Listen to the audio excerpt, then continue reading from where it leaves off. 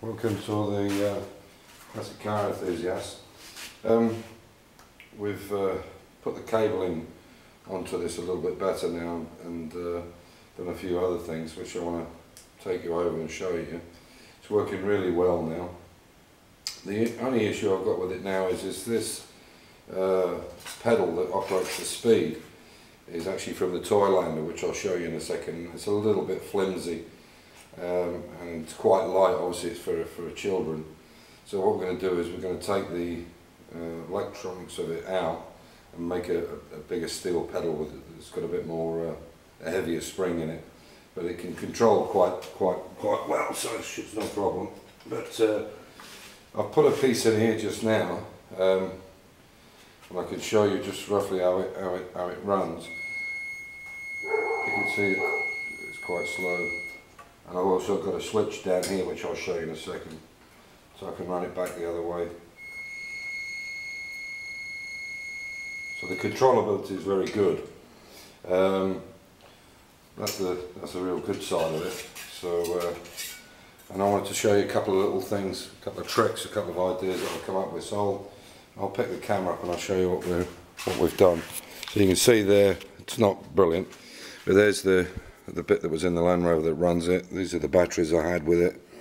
And we've now put this on uh, just to stop any flexing on these motors because there was a little bit of flex as you as you turned with with heavier gauge steel in it you can see it turning there what we'll do now is strip it all down and and uh, paint everything up and there was a little bit of flex here when you used a heavier gauge like a 2 mil so but that stopped that happening now. Um, you can see we've put a, this is the switch on the little Toylander that you flicked up and down so you want to go that way. You can see it. So I'll get out your light. You can see I can turn it very slowly. but this is the pedal from the Toylander. You can see it's a little bit flimsy. Not very good. So what we'll do is we'll take the guts of it out and build a new one but with a much heavier spring on it and then the controllability will be will be better. Um, it's got a little uh, breaker switch there which actually snapped but never mind. Yeah so it works pretty well. So this piece that I've just put through now um, I did this a little bit early and you can see there on that profile you can see this is the end of the for instance if you were making a piece to strengthen it a floor or a tank or whatever you can see where the roller has come up to the end, where the bead has come, and it's not quite defined on the edge there. You can see it, and you can see on that end, it's a better defined. And I saw this idea on YouTube. YouTube's brilliant for this kind of stuff. And, and all you do is, is get uh, an open-ended spanner, which is, is the same, and you basically bang that down on the edge, beat it down, and you'll end up with that round profile there. So whatever size bead you're doing, for instance, I'll just turn this around the other way so you can see it. And you can see that that works perfectly. That's how you get a nice nice edge on it. Obviously you can work on it more than that. Um, I've uh, so what I've done is I've come up with an idea now, and I need some help from you guys, especially the XK150 Jaguar guys. So we've rebuilt. Uh, you remember in previous videos these were all rotten inside, so we sandblasted them inside. Uh, we built new fronts, new captive nuts, new tops for on both sides. I'll show you the other side so you can see it. You can see this side is done as well, so it's all new captive in here. And everything, we tried the battery boxes and they fit great. Now, the help I need from the guys out there, the Jaguar guys, or anybody else that might know, is on this car, this plate is actually the one not this side, it's on over there, but for filming I'll do it this side. And you can see that there was a little lip put on this. Obviously they've done it with some kind of bar and then and then uh, and then bent it over in a vise. And what's supposed to happen is is this goes underneath there, and then he's and then he's screwed down onto that. It's like a cover, if you like. Yeah. Now, I'm not. I didn't have any on my car because it was it was quite badly rusted. I think this is how they were made. So if you're an XK guy and you know that these covers exist. I'm pretty sure that that B post wasn't open like that. They must have had, because the debris build up they would be terrible. Anyway, so what I've done is I've come up with a little idea, because we've got the bead roller working now, is we'll use a, a smaller bead. This is just a, for instance, this is a, just a test piece we tried. And what I can do is actually use that profile there. You can see it's a good profile. And I can use that profile for it to catch and it looks even nicer. I think it's quite a nice idea. Um, because all these older cars, they all had uh, what they called wire edges. Um, if I can maybe show it you there better, you can see this is what they call a wired edge. This is a, there'll be a piece of rod in here, and then this fender or this uh, wing is wrapped around it. Um, and so that wired edge has got exactly the same profile I've got as a, as a bead.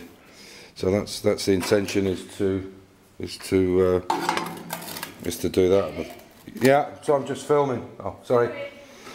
It, I'll be there in a sec. They are down in the garden with the small car from Tekin. No problem. I'll go, be down in a minute.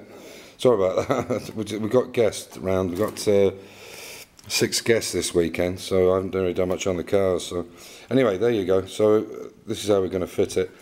And what I'd like from the subscribers or anybody watching in who are an XK guy, I would imagine it came from there to there at least, and then the battery box comes up here. But if they know if the if the cover goes further than that, could you let me know? Because I cannot find any pictures on YouTube or or, um, or the internet. I've been on Google. It's it's an area that people don't seem to have very many photographs of. Okay, so the next thing uh, I wanted to show you. You can see this is, was the original. How that's uh, that's actually the other side, but that's how that looked. It's not come out very well, but you can see how bad it was in there. Quite badly rusted. Um, the other thing I wanted to show you was this is a, a uh, an, an S type, and you can see when we're having the same thing, we've, we're using the original 3.4 engines, but with uh, straight port uh, E-type or, or S um, heads, because the the valves have to be a certain size, and the triple SU carburetors, which I have on my on my E-type there. Um, but you can see here that there's an issue with this last carburetor. This one has an air box on it, and we're not going to go go with the air box inside the wing. We're going to use pancake filters, chrome pancake filters. So again, if anybody's done this conversion, um, I'm not sure exactly how much needs to be cut out on this wing. So in fact, it would be this wing here we're looking at. This is upside down, obviously, and it looks to me like they need to be cut about here somewhere to allow this pancake filter. It's the pancake filter and the the uh, fuel float, which seems to be a bit of an issue on that corner. You can just see. I know this is not really good, but you can just see there where it's cut on the S.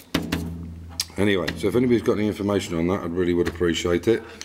And uh, we should be back to work tomorrow because uh, all the guests are leaving this afternoon, and uh, and we'll go from there. So, yeah. Um, one last little tip with a bead roller. If you're doing a bead, and you can see this is the two mil stuff we've done. You can see the profile's re- pretty good and it's thick. You can see how thick that is. Um, if you're doing a, if you're doing one of these beads, and if you have an English wheel, if you're lucky enough, I mean, I've, I'm lucky. I've got this English wheel. Okay, so it's a, it was a cheap version, but it does what I needed it to do.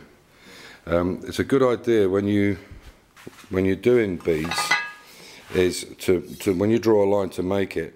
If you've got a, if you've got an English wheel, just run it up and down a few times, and what it'll do is it'll pre-stretch the metal, and then when you put it through the bead roller, because you're taking this dip in it, um, the panel won't warp it'll keep the panel straight. So that's a little tip that I've learnt. Again, I get most of these from YouTube or uh, talking to somebody or, or just checking it out on Google. So there's a couple of tips for today. So she's all finished and working and I'm really chuffed. Especially the fact that these motors and batteries wouldn't have been used for 11 months of the year. So because we took them directly out of this uh, out of this cut here, which is this little uh, Land Rover I made for the for the nieces and nephews. Anyway, take care. Bye for now. Bye.